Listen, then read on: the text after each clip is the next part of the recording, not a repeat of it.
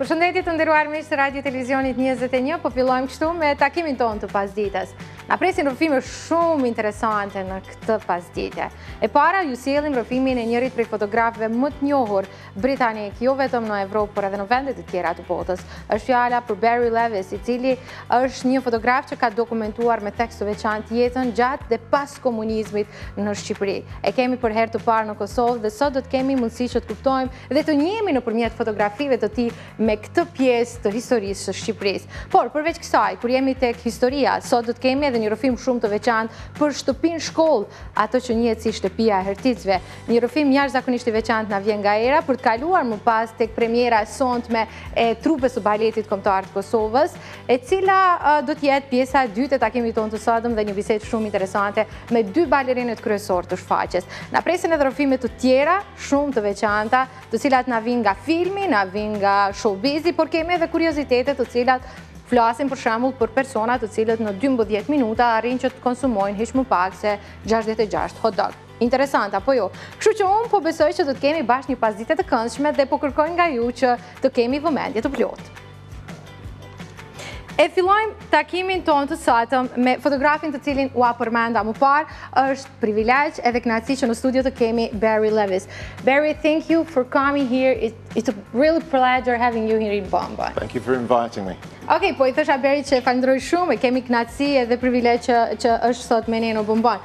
This is your first time in Kosovo. What do you think about it? It's very European. Okay. It's kind of the you know, modern buildings, very different to my experiences in Albania in 91 and 92.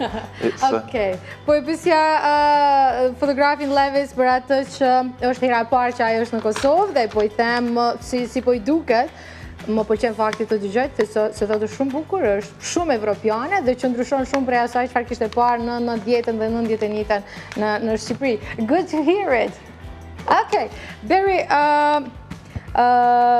tani do të pysë Berin për ato që a i ka vizituar Shqipëri në ditët më të këqia, unë do të thoja të popullit të soj, në kohën e komunizit, ka arë si pjesë një grupi arkeologër, gjë që në fakt a i nuk ishte, dhe unë do doja të dija nga Beri se qëfar i kujtohet nga ajo. Uh, so, you visited Albania and got to know the Albanians during the darkest days of the people during the communism. Uh, you came as a part of a group of archaeologists, which is, in fact, you were not. Uh, what, what did you remember? What do you remember from that time?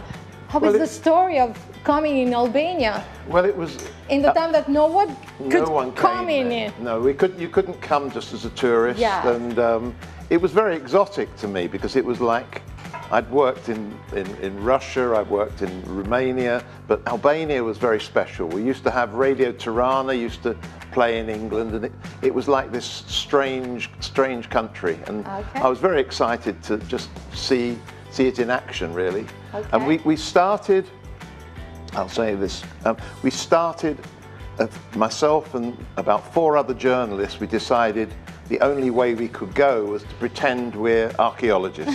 Which you were not. Ok, po e pysja uh, Zotrin Levis se si uh, pra erdi në, në Shqipëri, si një grupi arkeologë, a i tha që uh, ata mund të vizitonin se cilin vend që dëshironin, ma di mund të shkonin edhe në Rusin, por ishte gati e pa mundur që të vinin në Shqipëri si turist apo edhe si fotograf. Dhe që farë bëjnë, ata pretendojnë që janë arkeolog, gjë që në fakt ishin, dhe kishin kërshëri shumë të madhe për ta njërë Shqiprin komuniste të atyre vitev, sepse thot që ma djetë në Anglia ata arinin që të dëgjonin Radio Tirana.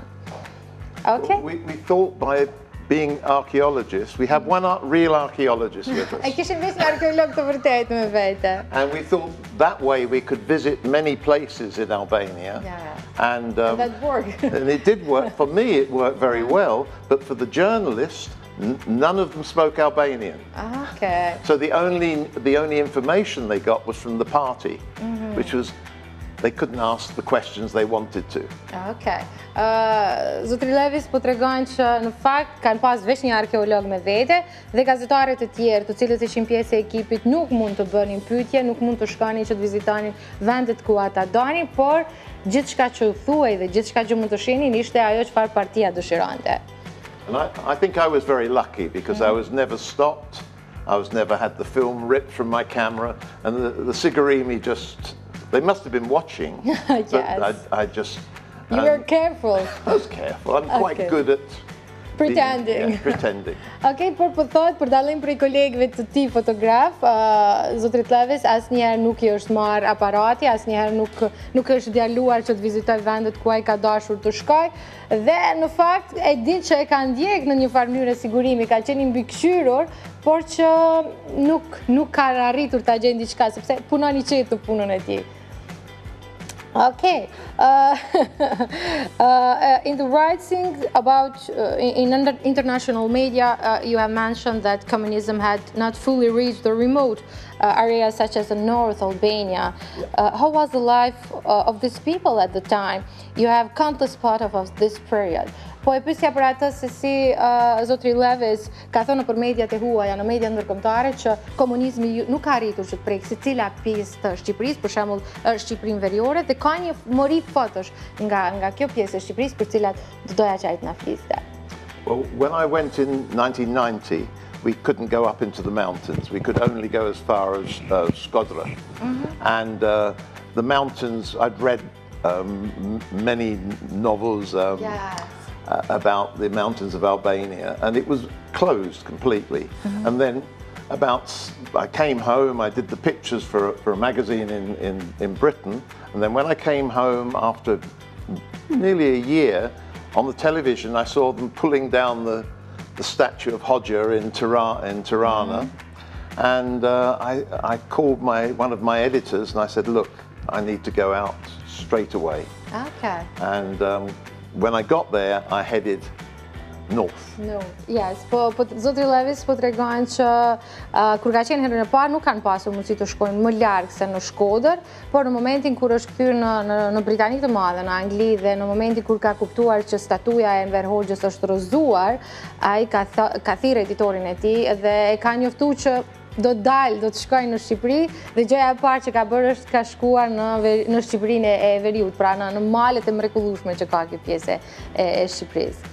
Yeah, the, the, when I went the second time, it was like a different country. Okay. Everybody was free, but very poor. They didn't have enough food, but Yeah. everybody wanted to talk to me. Whereas the first time in 1990, everyone was frightened to talk. Yeah. And so they were whispering, and uh, we were doing things like visiting the tractor factory where there was no tractors and all sorts of crazy, Okay. crazy things. Po të regon që në kohën kur ka ardhur pas rëzimit të, të sistemit komunist në Shqipëri, ë, ka pa shumë ftyrat lumtura, ndosht se ka pas një varfëri shumë të madhe, njerëz kishin të lirë të flisnin dhe të thonin atë që ata mendonin, për dallim nga ajo që në vitet e 90-ta kur ishte komunizmi, ë, ata përshpërisnin me zë të, të ult, e kishin shumë frikë që të flisnin për atë çfarë po ndodhte, madje thotë që kemi vizituar edhe fabrikë të traktorëve ku nuk kishte në fakt traktor. And how was that about the tractor factory? Well, they- well, what do you took- remember from I that? I remember they took us in and they said, but all our tractors have gone out. We haven't got any in.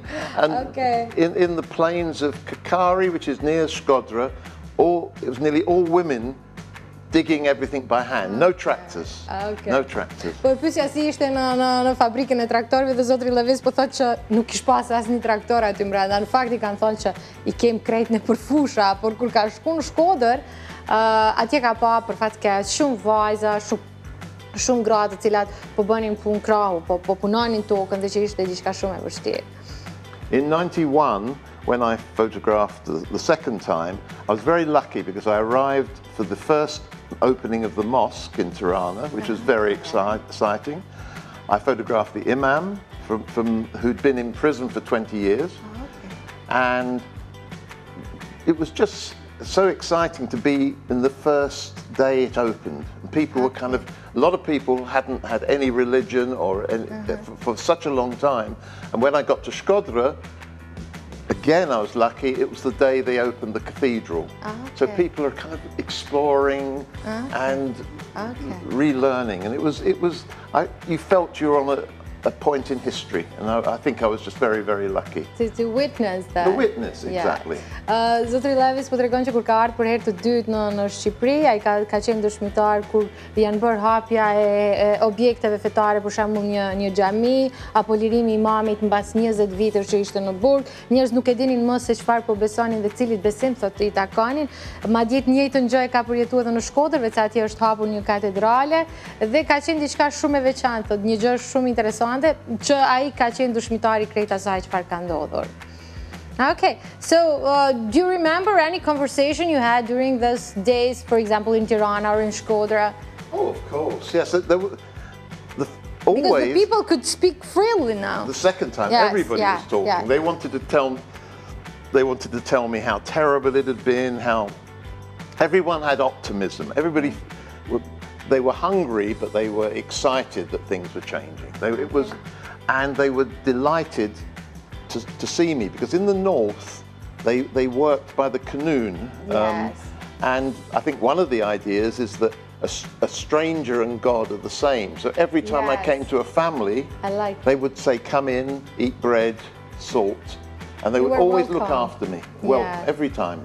Po të regojnë që në basi që ka ardhë për herën e dytë, të gjithë kanë qenë të gatshëm që të flasin, të pranojnë, të respektojnë, ma dje po thotë për dalim për pjesëve tjera të Shqipërisë, veriu ka qenë jo si ka kërku sistemi komunist, por në fakt ai ka, ka qenë i lidhur me kanunin. Dhe ju e dini që mysafiri edhe zoti janë të pothuaj se të, të barabartë për shqiptarët në, në kanun, në kuptimin që kanë qenë gjithmonë të mirëpritur, ndo se kanë pas një varfri shumë të madhe, ata i kanë mirëpritë dhe i kanë pas gjithmonë dyrë të hapura, i kanë nda kafshatën e gojës që themi na dhe kanë mirëpritë shumë. Uh, interesting. So, then what happened? Right. The the other side of the canoe, canoe in the north, was they still had blood feuds, which was you know I'd never I, I'd heard, heard about read I read uh, Kadare, uh, who was I met Kadare in Tirana the first trip, and uh, I read his book that year. Um, Broken April, I think it is in Yes, English. Broken It's wonderful. And- Yeah. and and I came across two families that were in Mm-hmm. in blood, but I never could tell each family. You I was, went to the...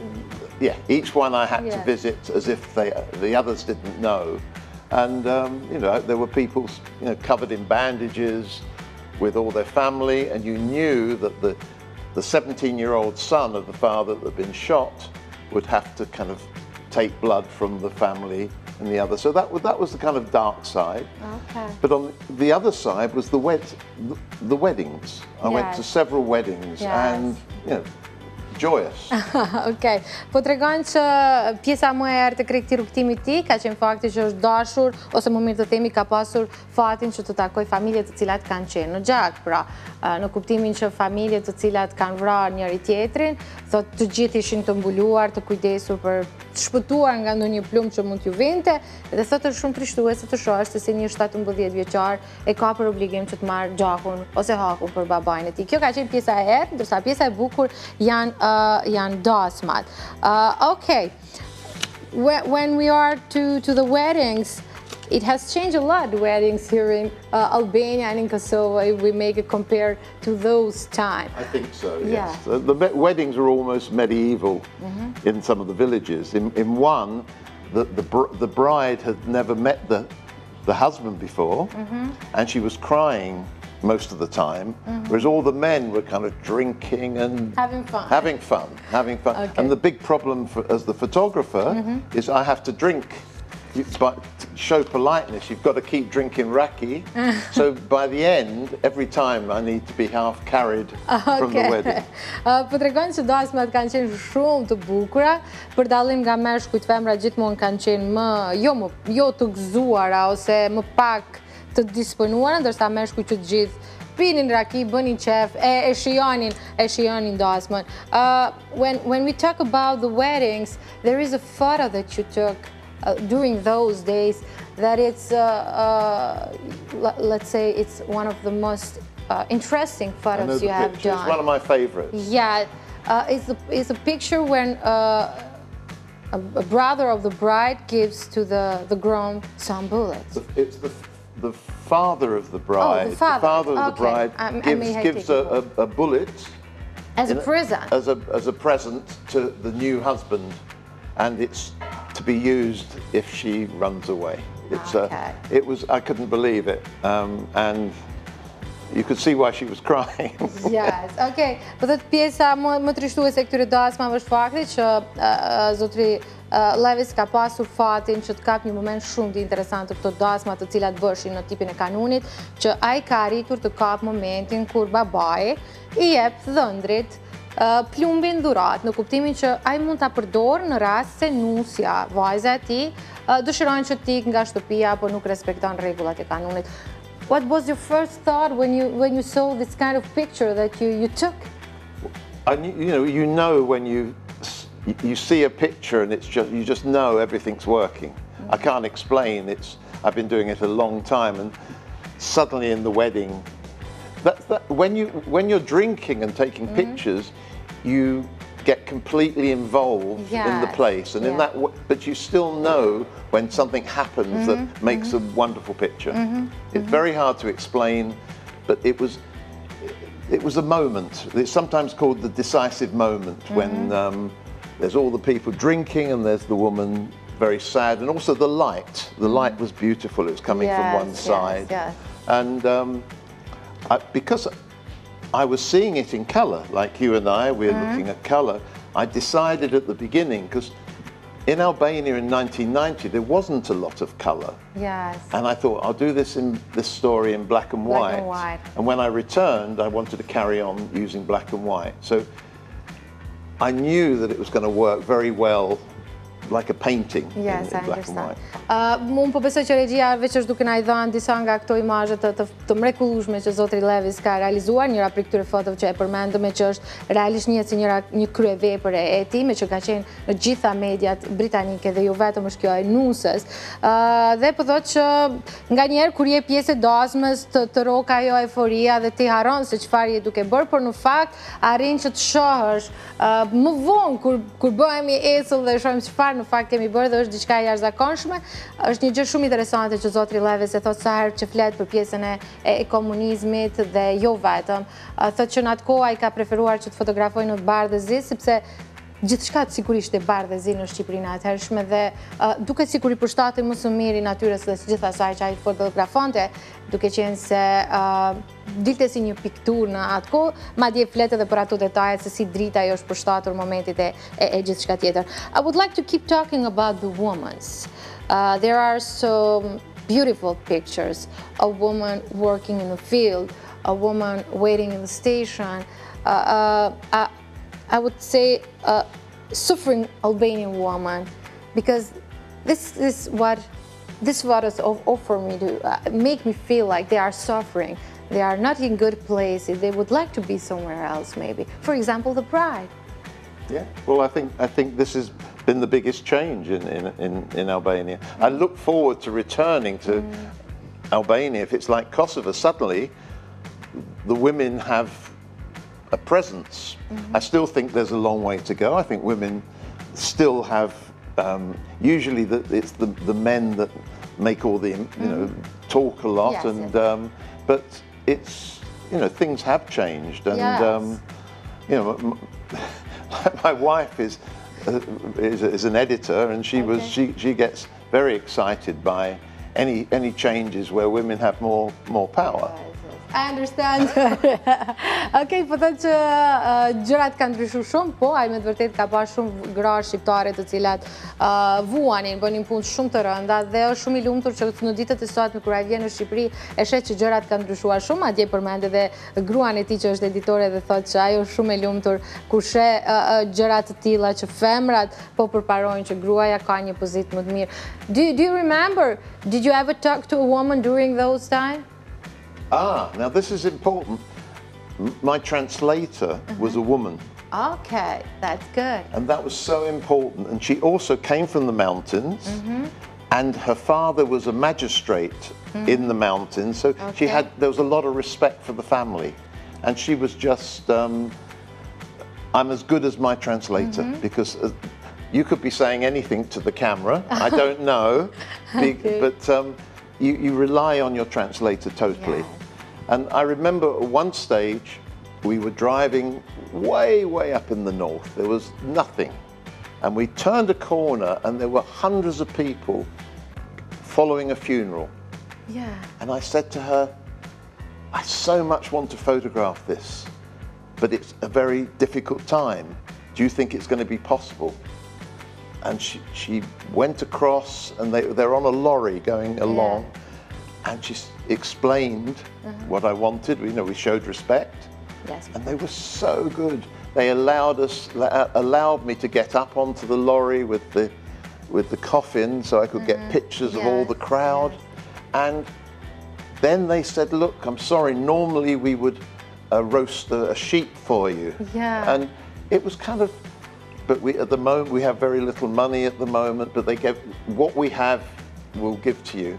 And they allowed me to go to the, the, the grave, and a lot of the women were kind of um, pining. They have this, Yeah, yeah, and there's some, and it was kind of like being it, it was for me it was such a i felt so privileged Yeah. to be allowed to, to, to be there and funnily enough one year uh, one year ago i had a telephone call from albania no it was from switzerland Okay. and one of the little girls in the picture Oh, was doing her master's in Geneva in Right. ecology, and she had seen the picture, and she, she said the, the family were very proud because there were so many villagers following. Yes, yes. And I sent them some pictures, and it was Good. it was wonder, it was wonderful. Yes. Uh, zotri Levis po tregon që derisa ai po thon sepse pyeta nëse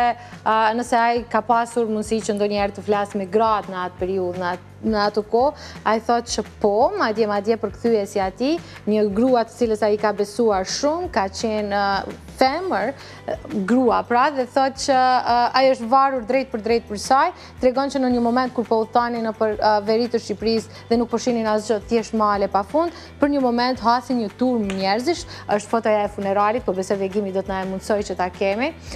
Tregon që aty ai ndalet i pyet njerëzit, ja, pikërisht kjo fotografi, ndalet dhe ju kërkon nëse do të mund t'i fotografante, gjithmonë duke respektuar pikëllimin e thellë që kishin në këtë funeral, dhe çfarë bëjnë shqiptarët e asaj kohe? Ata thonë që në në në një situatë tjetër ne do të prenim një dele ose një një një kinç për ty, por nga atë sa kemi mundësinë e patjetër që do të mirëpresim në familjet tona, ndoshta jemi në një periudhë ku kemi varfëri të madhe, por gjithsesi ju mund të kapni këto imazhe, madje tregon që në njërin nga këto fotot është edhe një vajzë e vogël e cila e ka telefonuar shumë vjet më pas, ajo tani është studente në Gjenevë të Zvicrës dhe ka falenderuar për këtë foto të mrekullueshme, ndonë se është një moment shumë piklues që ai ka arritur të kap, tregon se si gratë vajtonin e gjithë çka tjetër dhe është një moment shumë interesant uh, të cilin ai ai ka arritur uh, ta kap. Dhe and what happened after that?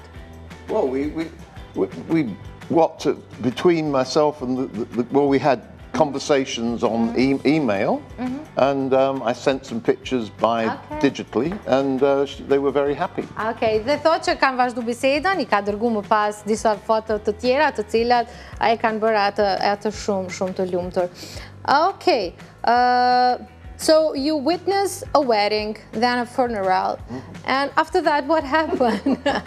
there are so many stories that you haven't told. Yes, there were m- many things happened. Well, not just one wedding, two wen- Okay, weddings. I'm- I'm, guessing. so, and and and it, like in another wedding, it was in Skodra, and Mm. all the um, newspapers. They had no cloth for the, Okay, the table. okay. It was just newspapers, but they had food.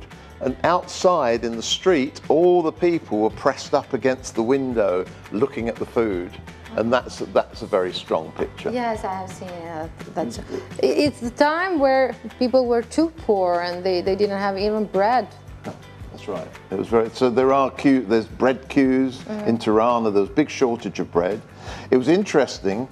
that the longest queues were, were for the French bread. You know, nice.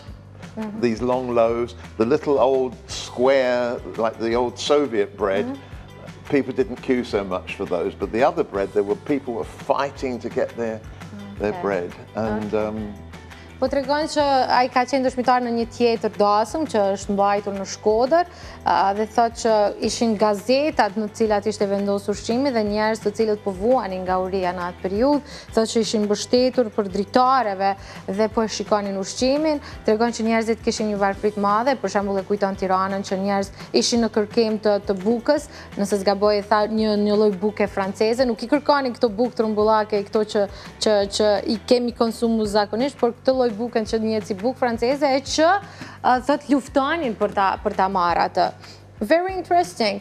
So, you you were like traveling from Tirana to the north and then? Then I looped down to Kocha.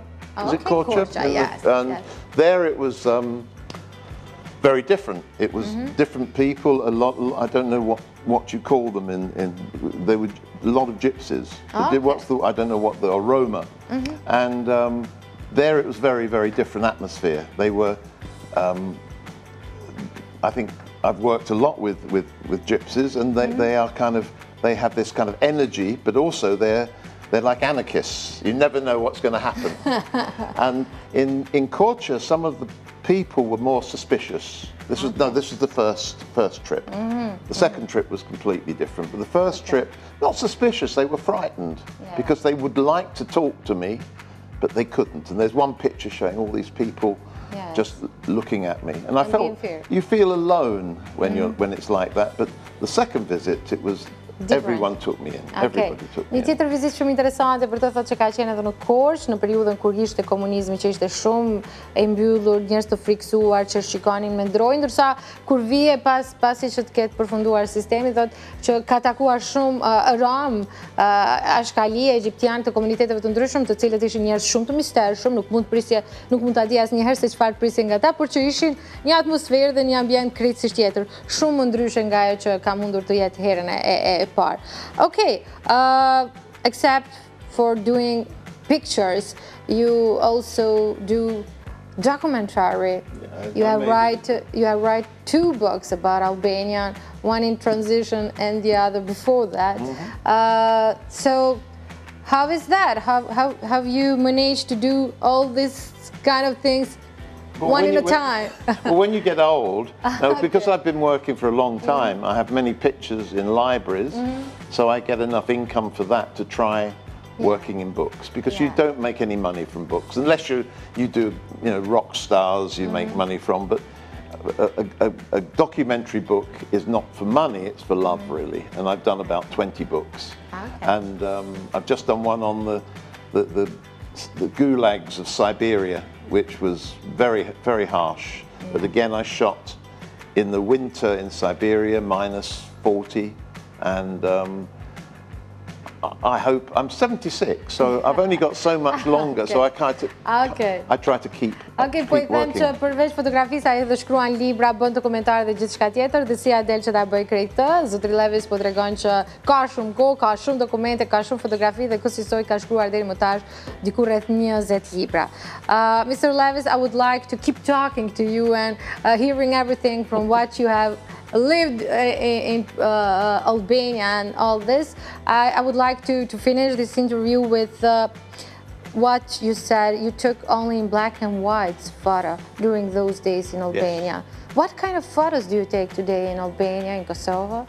Color. Color. Color, all color. All color. Yeah, it's um, it's colourful here. Yeah. But I haven't been back to Albania, so this is it, next year, I think I'm going to go back to Albania okay. with the family. Okay. But um, I'm sure I'll do it in color this time. Yes, I hope so. Po e pysja që fotografitë të cilat i ka bërë më parë të gjitha i ka bërë bardhe zi. Tani si fotografon, thot në ngjyra, në shumë ngjyra, sepse tash më ka shumë ngjyra edhe në Kosovë dhe në Shqipëri. Mr. Levis, thank you very much for your time and for your interview and for being here in Kosovo and for hearing what did you said first. Uh, you, you see one part of Europe here in Kosovo. So thanks for being here. Thank you. E falendrova shumë që ishte sot me një dhe për faktin që ta se në Kosovë po shaj një pjesë të Evropës.